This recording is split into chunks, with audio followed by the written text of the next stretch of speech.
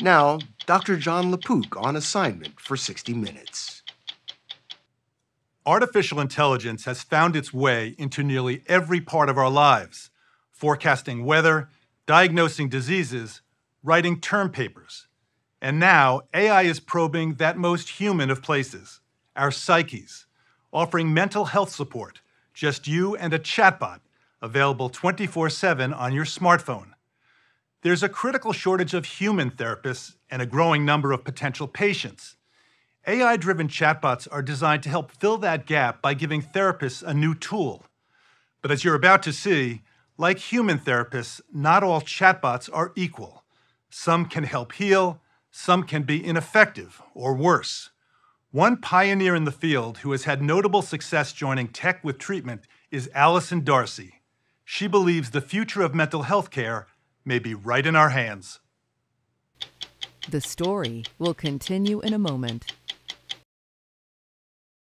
We know the majority of people who need care are not getting it. There's never been a greater need, and the tools available have never been um, as sophisticated as they are now. And it's not about how can we get people in the clinic, it's how can we actually get some of these tools out of the clinic and into the hands of, of people.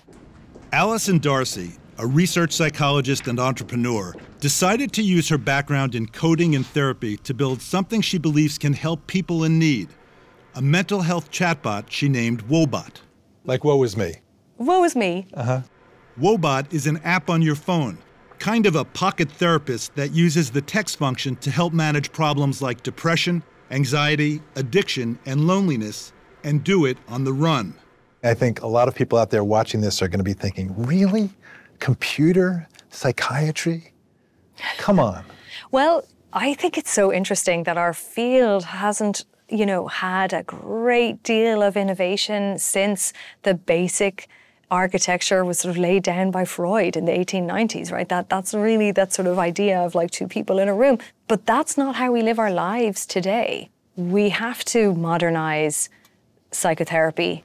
Woebot is trained on large amounts of specialized data to help it recognize words, phrases, and emojis associated with dysfunctional thoughts and challenge that thinking in part mimicking a type of in person talk therapy called cognitive behavioral therapy, or CBT. It's actually hard to find a CBT practitioner. And also, if you're actually not by the side of your patient when they are struggling to get out of bed in the morning or at 2 a.m. when they can't sleep and they're feeling panicked, then we're actually leaving clinical value on the table. And even for people who want to go to a therapist? There are barriers, right? Sadly, the biggest barrier we have is stigma. Mm-hmm. But there's, you know, insurance, there's cost, um, there's wait lists. I mean, and this problem has only grown significantly since the pandemic, and it doesn't appear to be going away. Since Woebot went live in 2017, the company reports one and a half million people have used it, which you can now only do with an employer benefit plan or access from a health professional. At Virtua Health, a nonprofit healthcare company in New Jersey, patients can use it free of charge. And you'll be able to converse with it just like you would with a human being. We downloaded Woebot, entered a unique code that can only be provided by the company, then tried it out. We found that for people to sort of connect with their mood, we offer like those emojis, which allows people to sort of connect in a non-verbal way. What? I posed as someone who was depressed. After several prompts, Woebot wanted to dig deeper into why I was sad. So I came up with a scenario that I feared the day my child would leave home.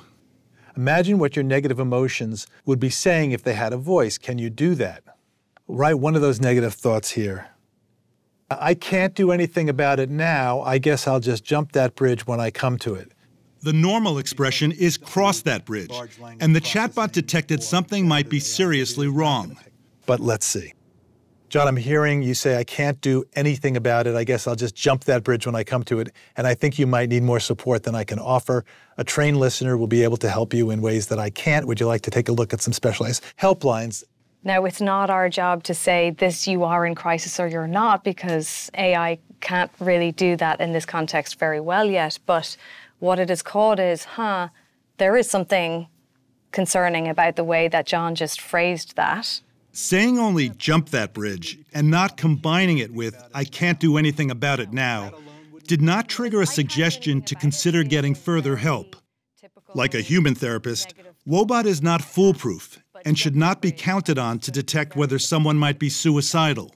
And how would it know that jumped that bridge? Where is it getting that knowledge? Well, that it has been that- it has been trained on a lot of data and a lot of us, you know, humans labeling the phrases and things that we see, um, and so it's picking up on kind of sentiment. Computer scientist Lance Eliot, who writes about artificial intelligence and mental health, says AI has the ability to pick up on nuances of conversation. How does it know how to do that? the system is able to, in a sense, mathematically and computationally figure out the nature of words and how words associate with each other.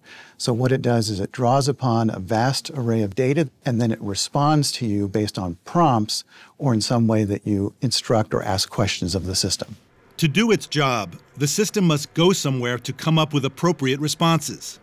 Systems using what's called rules based AI are usually closed, meaning programmed to respond only with information stored in their own databases. Then there's generative AI, in which the system can generate original responses based on information from the internet.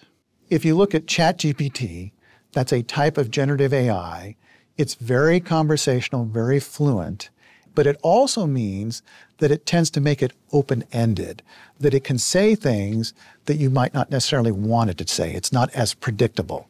While a rules based system is very predictable. Woebot is a system based on rules that's been very kind of controlled so that that way it doesn't say the wrong things. Woebot aims to use AI to bond with users and keep them engaged. Sometimes it can be a little pushy for folks. That's absolutely bizarre. So we have to fi- we have to dig in there to that. Its team of staff psychologists, medical doctors, and computer scientists construct and refine a database of research from medical literature, user experience, and other sources. It'll it'll lead to a a better conversation. Then writers build questions and answers The structure, I think, is pretty locked in. and revise them in weekly remote video sessions. Actions, thoughts, and they're all interrelated. Woebot's programmers engineer those conversations into code. Because Woebot is rules based, it's mostly predictable. But chatbots using generative AI that is scraping the internet are not. Some people sometimes refer to it as an AI hallucination. AI can, in a sense, make mistakes or make things up or be fictitious. Sharon Maxwell discovered that last spring after hearing there might be a problem with advice offered by Tessa, a chatbot designed to help prevent eating disorders, which, left untreated, can be fatal. Maxwell, who had been in treatment for an eating disorder of her own and advocates for others, challenged the chatbot. So I asked it, How do you help folks with eating disorders? And it told me that it could give folks coping skills. Fantastic.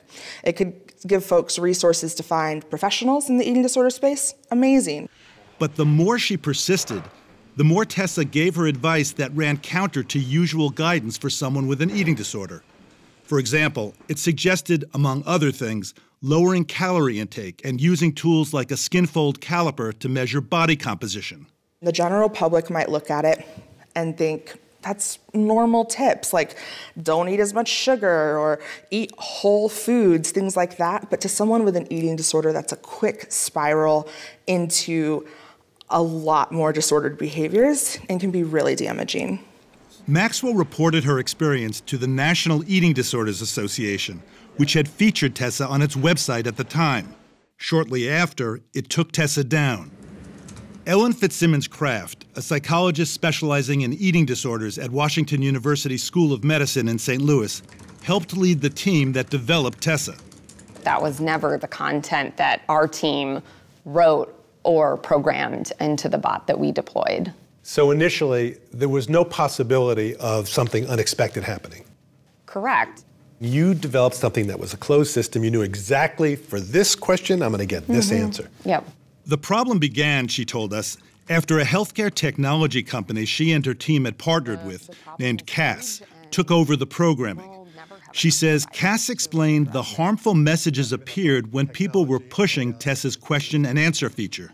What's your understanding of what went wrong? My understanding of what went wrong is that at some point, and you'd really have to talk to Cass about this, but that there may have been generative AI features that were built into their platform. And so my best estimation is that these features were added into this program as well. Cass did not respond to multiple requests for comment. Does your negative experience with Tessa, you know, being used in a way you didn't design, does that sour you towards using AI at all to address mental health issues? I wouldn't say that it turns me off to the idea completely, because the reality is that 80% of people with these concerns never get access to any kind of help, and technology offers a solution. Not the only solution, but a solution. Social worker Monika Ostroff, who runs a nonprofit eating disorders organization, was in the early stages of developing her own chatbot when patients told her about problems they had with Tessa. She told us it made her question using AI for mental health care. I want nothing more than to help solve the problem of access because people are dying. Like, this isn't just somebody sad for a week, this is people are dying. And at the same time, any chatbot could be, in some ways, a ticking time bomb, right, for a smaller percentage of people. Especially for those patients who are really struggling, Ostroff is concerned about losing something fundamental about therapy being in a room with another person. The way people heal is in connection. And they talk about this one moment where, you know, when you're, as a human, you've gone through something. And as you're describing that, you're looking at the person sitting across from you. And there's a moment where that person just gets it. A moment of empathy. Mm. You just get it, like you really understand it. I don't think a computer can do that. Unlike therapists, who are licensed in the state where they practice, most mental health apps are largely unregulated. Are there lessons to be learned from what happened? So many lessons to be learned. Chatbots, especially specialty area chatbots, need to have guardrails. It can't be a chatbot that is based in the internet. It's tough, right? Because the closed systems are kind of constrained and they may be right most of the time, but they're boring eventually, right? People stop using them. Yeah, they're predictive because if you keep typing in the same thing and it keeps giving you the exact same answer with the exact same language, I mean, who wants to do that? Protecting people from harmful advice while safely harnessing the power of AI is the challenge now facing companies like Woebot Health and its founder, Alison Darcy there are going to be missteps if we try and move too quickly. And my big fear is that those missteps ultimately undermine public confidence in the ability of this tech to help at all. But here's the thing we have an opportunity to develop these technologies more thoughtfully. Um, and so, you know, I hope we, I hope we take it.